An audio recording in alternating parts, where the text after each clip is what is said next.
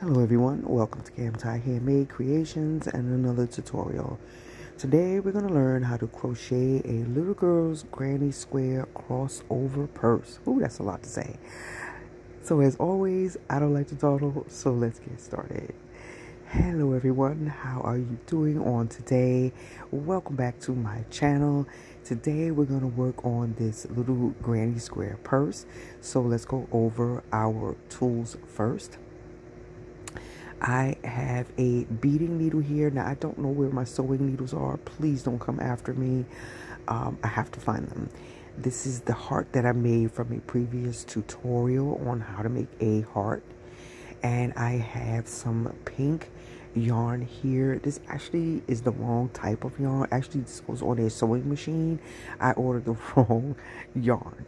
So, and then now I have two black um, cotton five uh, linings. Don't come after me. I know it's black. I ran out of white. And then I have my two granny squares here. So I did about six rows of these granny squares and I made two of them. So I'm going to take these stitch markers and add them to the to the front side so that I know what where the front side is so that I'm not sewing it backwards so I'm going to add these stitch markers here on each of them. And I'll be back. Okay, so now we have our two blocks here. We have our two granny squares here. Uh, and now we're going to go ahead and add our linings on here. Um, I've already uh, cut them out. So now I went ahead and I pinned it to the back of my square here. I made it slightly bigger than the granny square because I want to come right to the edge to cut it out. I went ahead and put some pins in there so that my square doesn't move around as I'm cutting it. So I'm going to go ahead and cut around the edges of this square. I can't believe that you came into my life. You made me feel. Now it's my turn. You say you've always been a little bit shy. But I can put an end to your fears.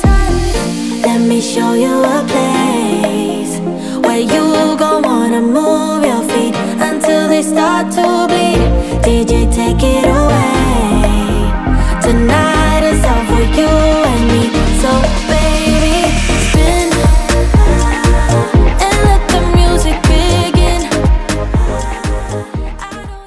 Okay, so I got that taken care of. Now I'm just folding in the edges so that it doesn't fray um, as time goes on. You want to try to get it right below the first row of your granny clusters.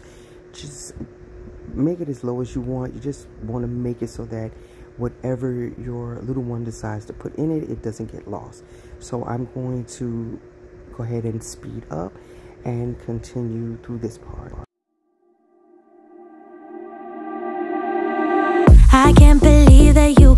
Into my life. You made me feel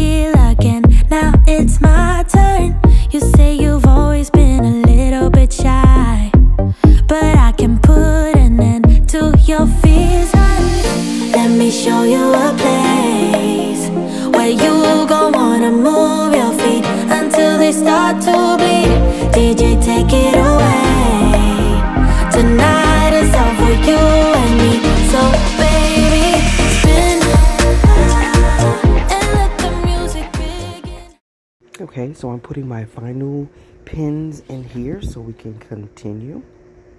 So now we're going to go ahead and sew. You sew this however you like. I am not the best at sewing, so I'm just going to do a standard in and out. I don't know what to call it. Again, I'm not a seamstress, so I don't know the name of the stitches that I'm doing with the needle, but just do a standard in and out. Try not to go all the way through your stitch. You just want to go to the back of the stitch. So again, I'm just going to speed up to get through this. You do this part how um how you see fit and I'll be back. Okay, so I've done both of my squares. Don't come after me with this sewing thing. I'm thinking about getting like a little hand sewing machine so this could come out a lot better. But if it was white and it would look so much better, uh, use some white. So, um, I'm going to continue on. I'm going to bring them together now. That is why I put those stitch markers there so I can know where the front part is. I'm going to grab my darning needle so we can go ahead and continue. And the way you thread your darning needle is you just put your needle in between and just snatch it just like I did just there. It's a lot harder to do it um, the way you would thread a normal needle. So now um, we're going to go ahead and start working on the corners, uh, working around. So decide where you want your opening to be and then go on the opposite end. Now you see your two clusters here. Each cluster has three double crochets there, right? So you're going to go into the last double crochet of the first cluster. So the last double crochet of the first cluster, you're going to put your needle in there. And we're just going to do a simple in and out. So once you pull it far enough, don't pull your yarn all the way through. Make sure it doesn't come all the way through. And just continue going in and out. And I'm just going to weave in and out between the stitches. I'm going to skip over that chain in the middle and then move on to the next stitch. So again, you just sew this however you know how to sew and just continue on. I'm going to speed up here because this is pretty self-explanatory. I'll slow down a little bit so that you can see. I'll stay slow a little bit so that you can see, but I'm going to speed up because this can be pretty tedious here. So just continue on with what you're doing and I'll be back.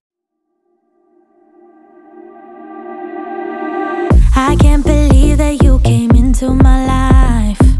You made me feel again. Now it's my turn. You say you've always been a little bit shy, but I can put an end. Okay, so I've joined everything together. I'm now at the other side. I'm to go ahead and finish off this yarn and hide this yarn away so I can continue. Make sure that you're making your yarn nice and secure. Um, when you get to the end, just go ahead and weave into those other stitches so we can make sure it doesn't come apart. You know how children are, they can be kind of rough. So you want to make sure that this is good and secure and I'll be back. Okay, so I have my squares sewn together. And remember, you can make your granny square as big as you want. You can make it smaller if you want to add less rounds. I'm going to remove these stitch markers here. Everything looks so good. Everything is in place the way it's supposed to be. It's nice and thick. Um, so it'll hold whatever your little one puts in there. So now I have my 5.5 millimeter hook. And we're going to go ahead and do the flap, the closure of this purse. So you want to decide where it is you, you want to put your stitches. I'm just going to start over here on the corner. And this is so that it will flap over. Now, I know I'm using some white. Um, I'm just trying to have a different color, an offset color from this pink. And this is a like a hot pink. So take your hook, and as you can see, you see your three clusters, and you see your three granny square clusters. Three on the left and three on the right. So in that very last double crochet there, you're going to put your hook in there and go ahead and attach your yarn. Slip stitch, and then in that same stitch, you're going to make a single crochet. Now we're just going to continue over and I'm going to continue for, I'm going to make 16 single crochets. So I'm going to make my way all the way across. When you get there, you should be at the very first double crochet in that corner cluster of granny squares. So go ahead and make your double crochets, I mean your single crochets all the way across. Again, you can make more stitches if you want to. Um, I'm just telling you what I'm making. So I'm doing 16 across and then I'll be back. Okay, so now I'm at the end of my row and I'm at that last single crochet, which is the double crochet from the corner cluster from the previous row. So now I'm counting my stitches and I have 16 going across. I'm gonna do a few more rows of this double crochet and then I will come back. Remember to chain one and then turn and make another row and I'll be back. Okay, so I've done about four rows of this single crochet. I'm going to go ahead and chain one and turn. We're going to decrease now because I wanted to come inward. So the way that you decrease, we're going to do a single crochet decrease. So do not yarn over, go into your stitch, pull up a loop. You have two loops on your hook. Immediately go into the next stitch, yarn over, pull up a loop, three loops on your hook, yarn over and pull through all three and that is a decrease. So now we're going to continue on and making our single crochets across. Then when we get to the other end, we will decrease again. So when you have two stitches left, two single crochets left, you're going to go ahead and do a decrease in that section. I'll show you that in a minute. Okay, so now we're decreasing again. Go into the stitch yarn over pull up a loop go into your next stitch yarn over and pull up a loop yarn over and pull through all three of those loops. That is a single crochet decrease. So you keep doing this back and forth. This next row is just going to be a row of single crochets. The next row you will decrease and so forth. So you're going to decrease every other row. So you do one row of stitches do a decrease in the next row and do another row of stitches. Decreasing as you go along. You can decrease as far as you want to but I'm going to continue and I will be back. I can't believe that you came into my life. You made me feel again. Now it's my turn. You say you've always been a little bit shy. But I can put an end to your fears. Let me show you a place Where you gon' wanna move They start to DJ, take it Okay, so we have our, all of our rows here.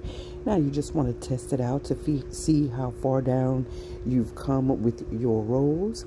if you want to come down more, you can. I think I will do that. I'm going to do that off camera. I'm going to come down some more and decrease a little bit more. Uh, so I will be back when I'm done with that. Okay, so I'm at the end and I have eight single crochets going across after all of my decreases. Now we're going to chain one and turn. And we're going to make the hole for our button. So you're going to single crochet three across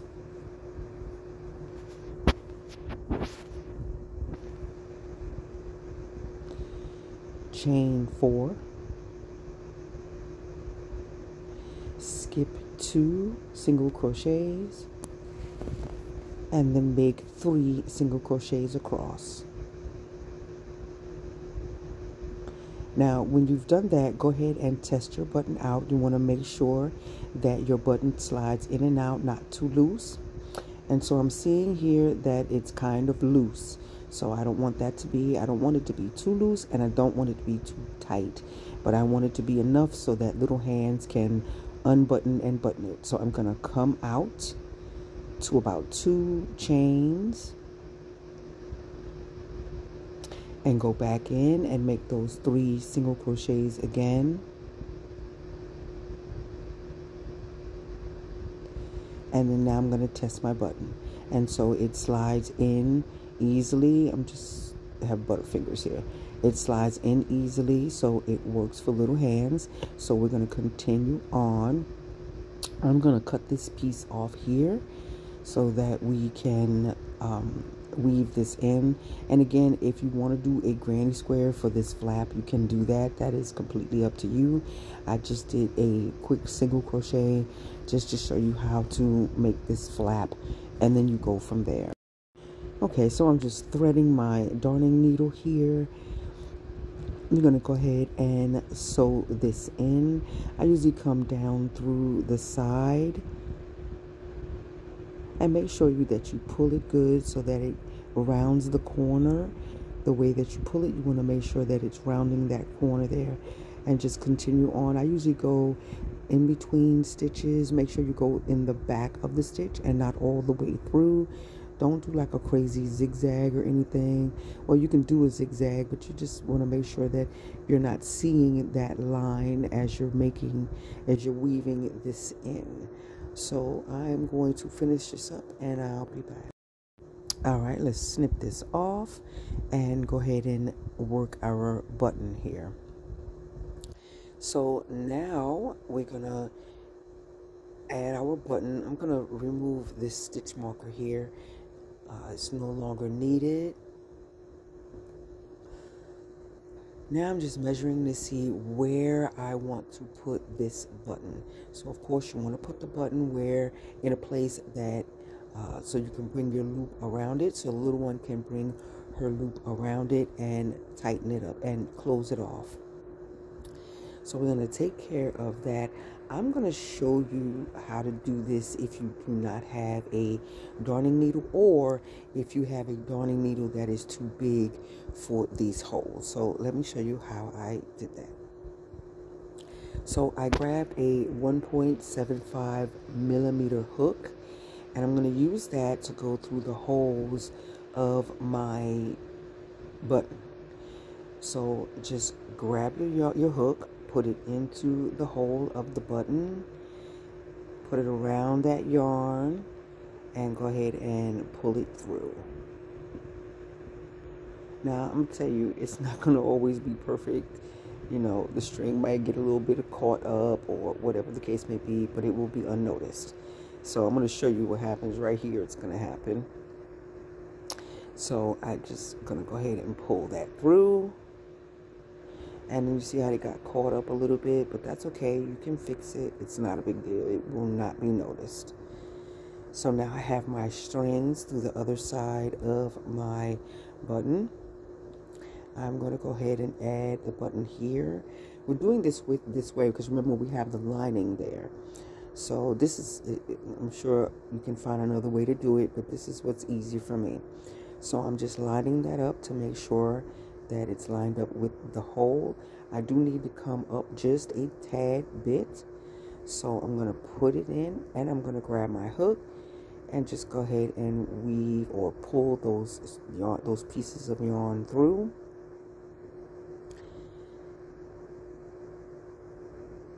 And this part is pretty simple. Go ahead and grab it and pull it through. Now we're going to tie a knot on one side. You see how it's there? And it's all going to come together once you pull. So now go ahead and make a knot. And pull it good and tight. And the button just lines up like it's supposed to. In between those stitches. Now I'm going to go to the other side of the button. And do that end and just tie it off. And you can do this however you want to do this. Get nice, good knots in there so that it's nice and secure. You can even add some glue under there if you want to, but be careful because you want to be able to put your your loop there. So I'm just tying a few more knots and then we're going to finish off. So I'm going to tie this off and I'll be back. Okay, so I'm going to cut this off here, finish that off and we move on from there. So it's not too tight because you need for your loop to go through. Let's give that a test and it slides in and that's it. So it should work perfect for little hands. It's very easy to get on to that button. There's the back. And so now let's go ahead and continue we're going to continue with the strap. Again i was going to do a granny square strap but i just really didn't you know i, I didn't like how that looked. Um, remember to put a border around your flap there. Um, so now i'm going to make another stitch and i'm going to chain 10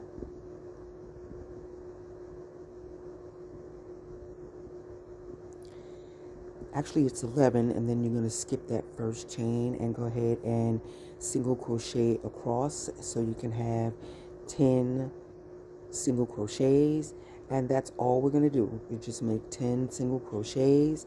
Um, make as many rows as you want to. That part is completely up to you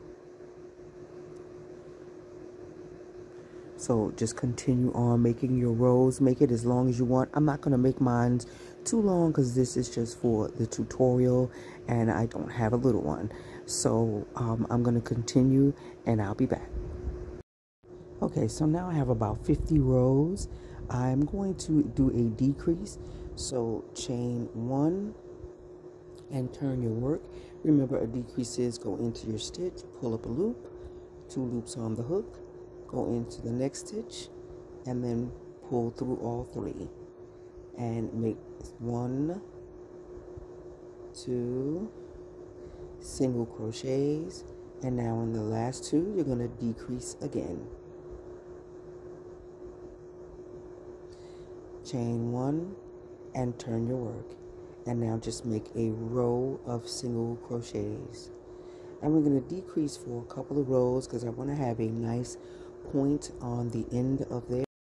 You can decrease as many rows as you like. So I will finish this and I'll be Okay, so I'm at the very end and I'm going to do a decrease with these last two stitches so I can have one single crochet at the end and then I will do the same thing on the other side so I'm going to cut this off and then do the same thing on the other end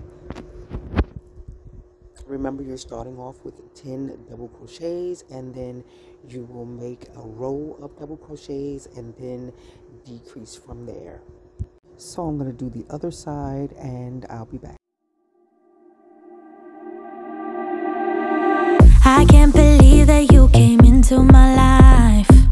You made me feel again, now it's my turn. You say you've always been a little bit shy But I show you a place.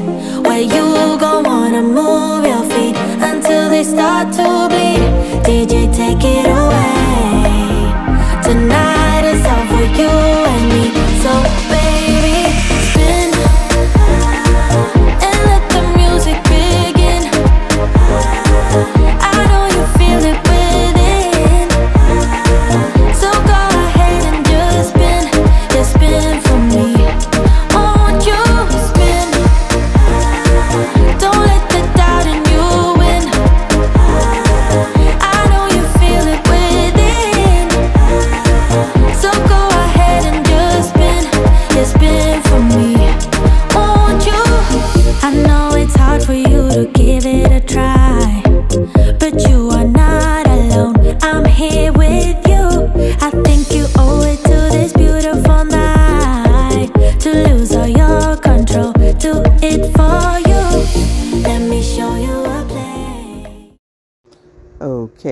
so let's go ahead and cut this off.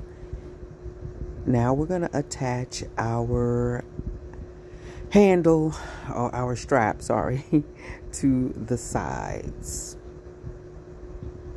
I'm loving how this came out.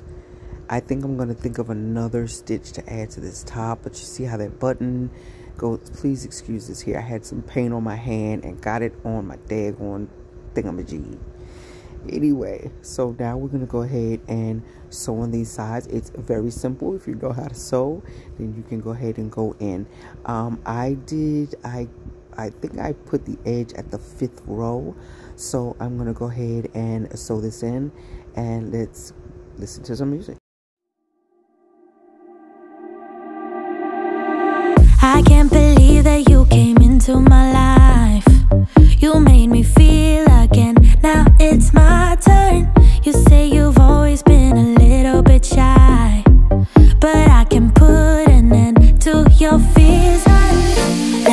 show you a place where you gon' wanna move your feet until they start to bleed. DJ, take it away.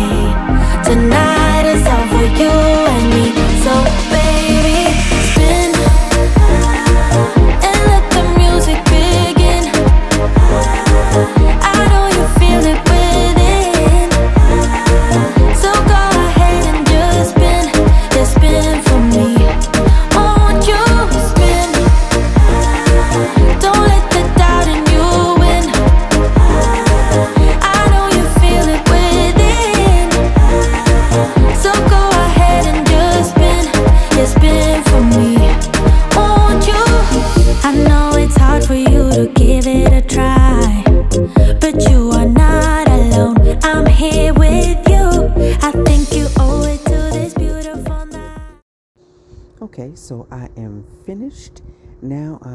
to cut everything off, cut off this extra string, and go ahead and tie some knots. I am big on knots, especially when it comes to children. And I'm also going to add some super glue just to make sure that it doesn't come out. So I'm going to put a couple of knots in here. Make sure you pull good and tight and snip off that excess. And now I'm going to add some crazy glue. So just right on top of that knot, you don't want to put too much. I mean, don't get crazy with it, but just put enough so that knot that knot is secure and you know it's not gonna come out. Um, you want to especially do this for the little ones because they can be quite rough with their things. So just let that dry and go ahead and do the other side. I'm just going to slide this button in here. As you can see, it's very easy. It's not too tight and not too loose, and it's nice and secure. So now let's go ahead and work on the other side of this strap here. I'm going to do this really quickly, um, and then I'm going to come back. When I come back, I'll have a picture of the purse. Okay, so here she is. I went ahead and added that heart there. I just glued it right to the button. So um, uh, she'll still be able to go ahead and take it off without any issues. The heart will not get in the way. So thank you for watching. Don't forget to like and subscribe. Follow me on Facebook, Instagram, and TikTok at Cam Ty Handmade Crochet. Bye bye.